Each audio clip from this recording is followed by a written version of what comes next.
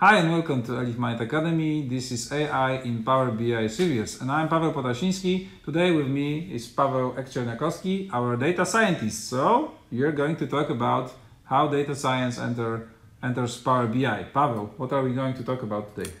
We'll talk about uh, Q&A uh, in Power BI. So basically, why, how can we create a report uh, just by typing our, our question in natural language. Wow! So, watch this episode. Pavel is going to show you how to ask questions and build the report just by asking questions using natural language. Enjoy! Here we are in Power BI Desktop uh, October edition. Okay. Uh, our data uh, that I will be asking about is uh, related with customers' uh, data of a banking institution from a direct marketing uh, campaign. We have information about uh, demographic characteristic of every customer, their um, other banking products, and the information. I hope, I hope we're GDPR compliant, Pavel, but I don't see any names here. So very very anonymous people here. yeah, definitely. Okay. Uh, so no problem with GDPR. Yeah. Uh, is, that, is that something meaningful for us? Uh, yes, definitely. It's the most uh, important variable for us. Okay. Uh, subscribe that indicates whether a specific customer decided to subscribe a deposit or okay. not. Okay. So that's uh, that also defines our good customers. Yes, Fine. definitely. So what are we going to do actually?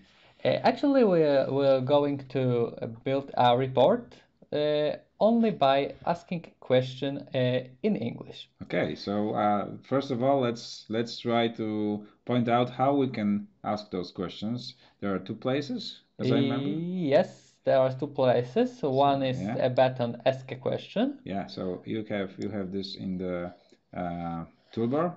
This is number one, and number yes. two in the visualizations pane. Yes, uh, to be precise, here. Q and A uh, visual. Yeah, brand new. Definitely. Okay.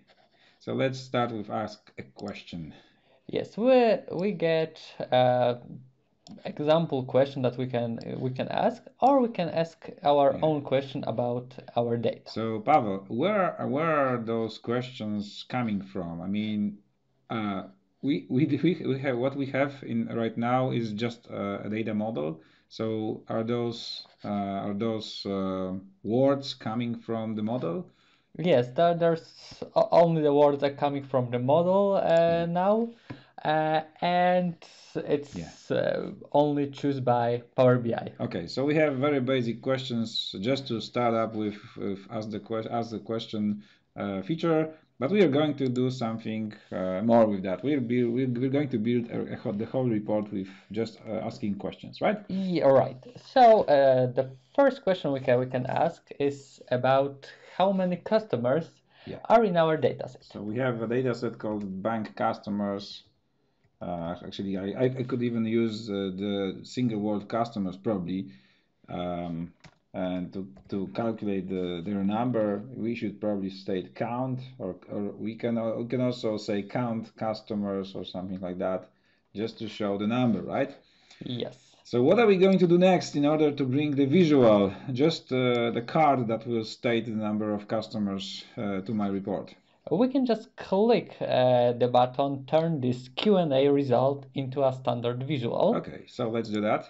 And we have a standard card visual. I'm going to put it right here in my left pane. And I'm going to reformat it. We have a ready to use uh, pre-formatted hidden visual that will just make our uh, our visual uh, more uh, more uh, appeal. And let's uh, rename the data label because it really doesn't describe well the what we are going to describe here. So uh, let's call it uh, number of customers. Maybe. Yeah. Okay. So another question, right? Yes, uh, we know how many customers uh, we are uh, are in our database. Yeah.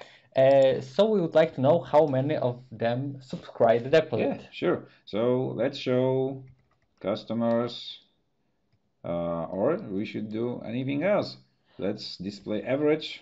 Um, Maybe Uh, uh, there's uh, zero and one uh, in our subscribe. Yeah, let's be smart. Uh, so if we sum up uh, the subscribe column, we will get the number of customers that Okay. decide to, to subscribe a deposit.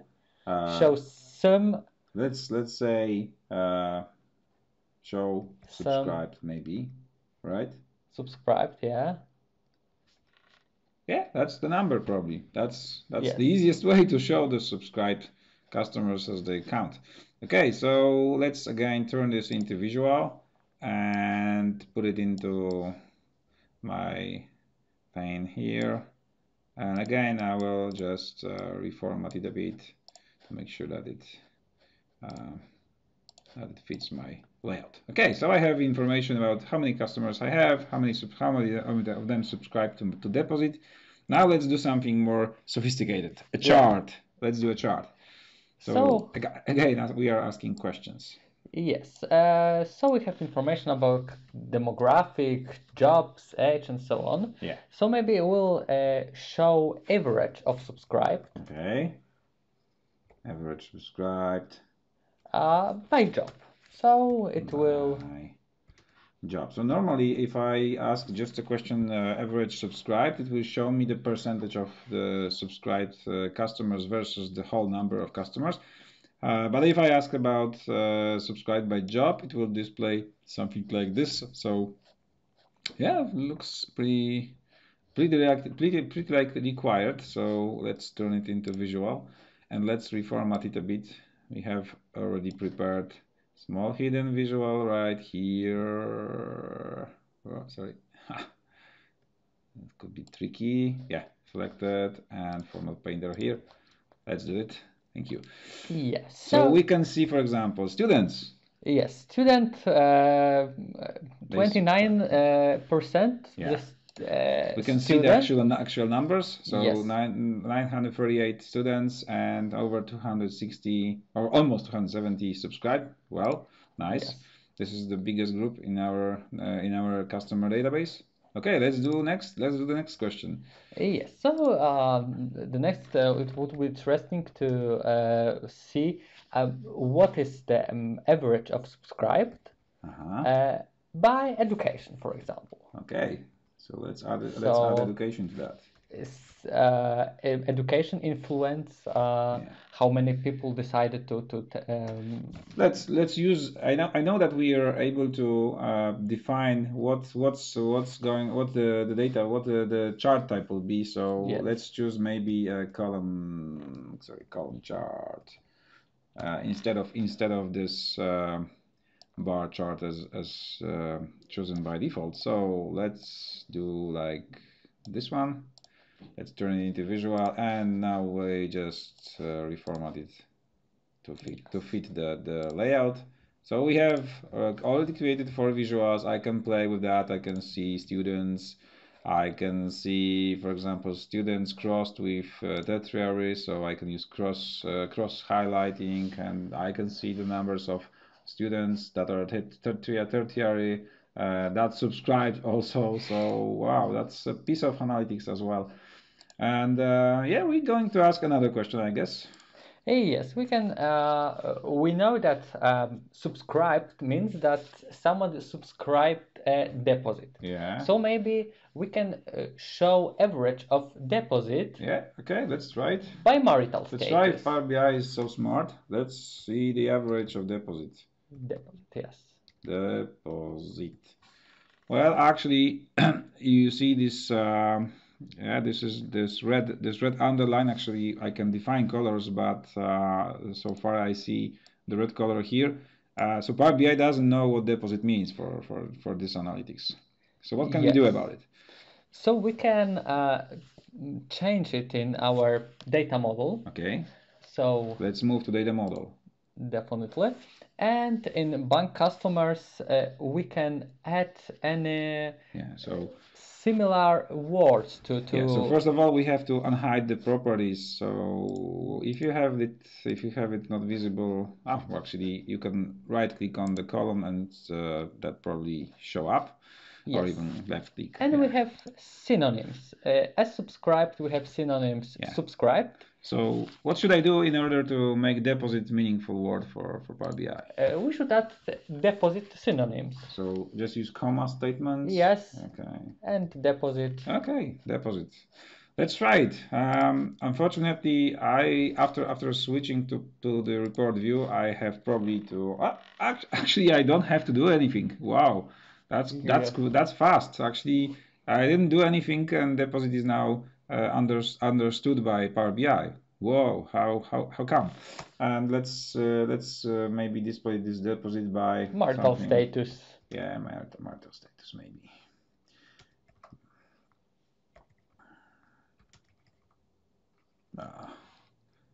Mari. Maybe let's let's see suggestions by.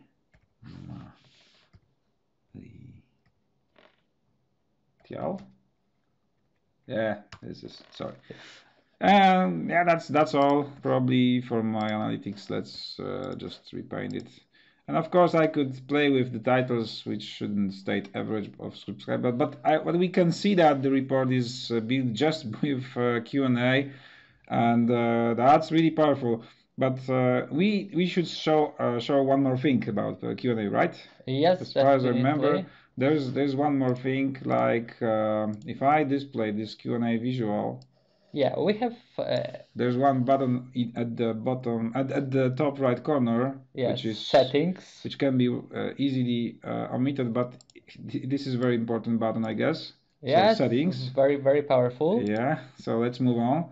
So first of all, the, the information that uh, we should provide, we already loaded this uh, data model to Power BI service. It is, and this is important information because, uh, for example, if I click review questions, I will see questions that were asked to this data set via via Power BI service, right? Yeah, right. So let's let's see uh, what people were asking for, and I can see, well, uh, actually not not uh, all, all the questions here they contain some uh, misspells. Somebody misspelled bank, uh, and is missing. So let's let's fix it. We can fix Yeah. it right away.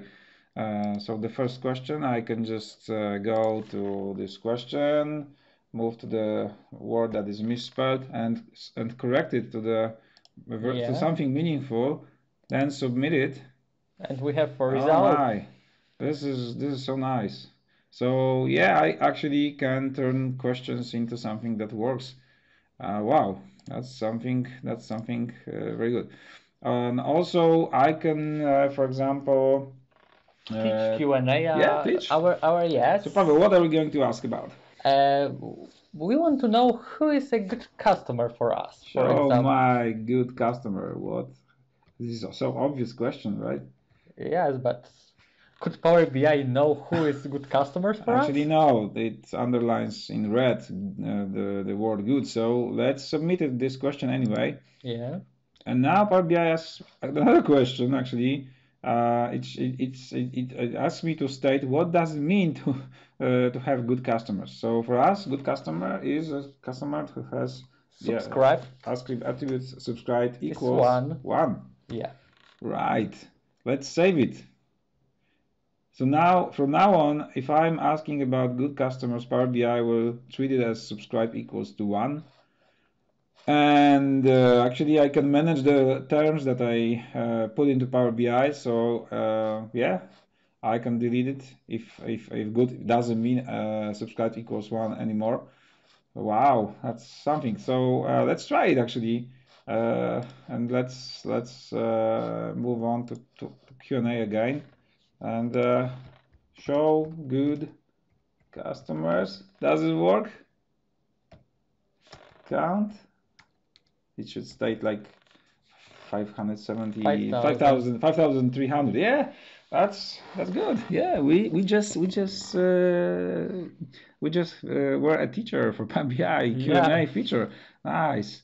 Okay, uh, so let's switch to Power BI service for a second to show where where Q&A is um, is uh, handled with within Power BI service. So whenever you have a data set in Power BI, and this is the AI in Power BI data set, you can al you can always uh, go into the settings and in settings you can for example uh, specify featured Q&A questions will that will show up in uh, Q&A visual whenever you whenever you turn it on and, and uh, ask your questions in uh, while building report in Power BI Desktop or in the service. So actually there is another place for you know playing with uh, Q&A if you're required to. So uh, yeah, that's Q and A uh, in October yeah. in October edition of Power BI Desktop and in the service. So yeah, Pavel, what do you think?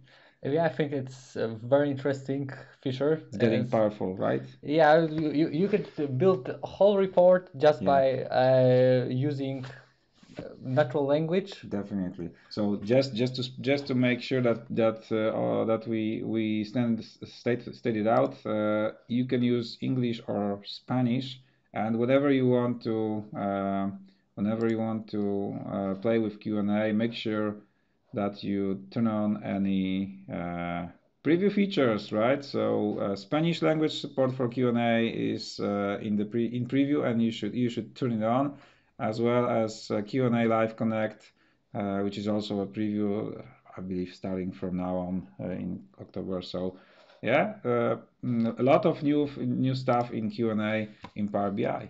Yep. Thanks. So as you can see, we can create a whole report uh, just by typing our question in English or Spanish as preview now. And uh, keep in mind that uh, the better model, uh, the better data model we built, uh, the better uh, answer to our question we will get as a report. Try to build reports using Q&A and share your results. Thank you for watching. Thank you.